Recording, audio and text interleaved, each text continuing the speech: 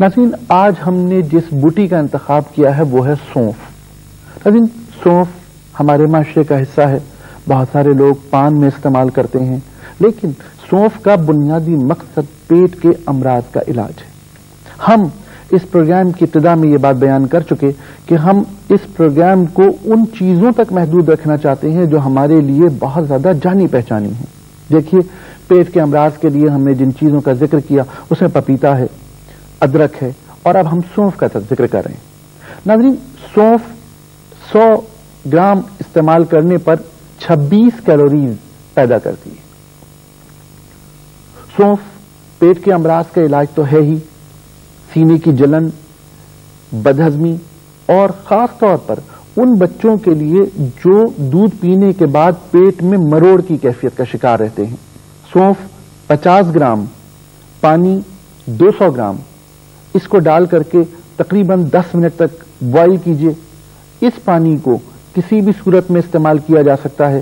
اگر بچے کا پیٹ پھول رہا ہو، بدہضمی کی کیفیت ہو، وہ ہرے پیلے دست کر رہا ہو یا الٹیاں کر رہا ہو یا دودھ نہ پی رہا ہو، ہر صورت میں سونف کا یہ ارق اس کے لیے نعمت ہوگا۔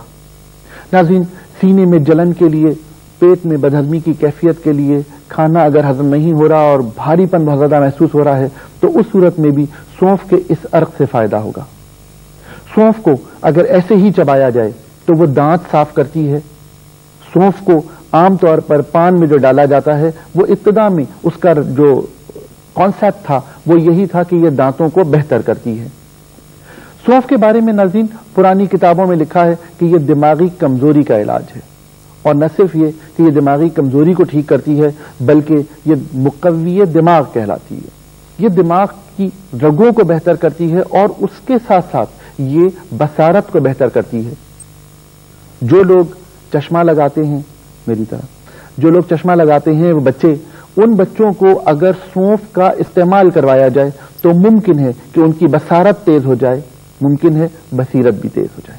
ناظرین، یہ تھا ہمارا آج کا پروگرام ان شاء اللہ تعالی دوبارہ ہیلتھ بائی نیچر کے لیے نئی سبزیاں، نئے پھل لے کر حاضر ہوں گے۔ اس وقت کی اجازت، اللہ حافظ۔